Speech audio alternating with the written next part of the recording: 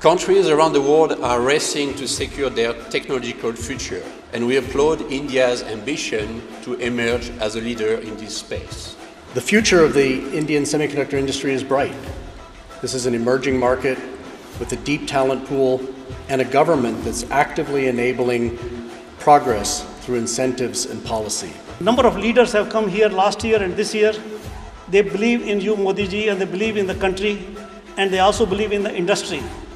They want to continue the growth globally, but also in India because that creates a balanced approach to preserve the supply chain resiliency.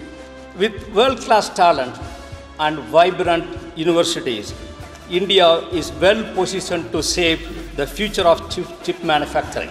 The window of opportunity is now for India to build on success of Make in India and transform that to Invent in India.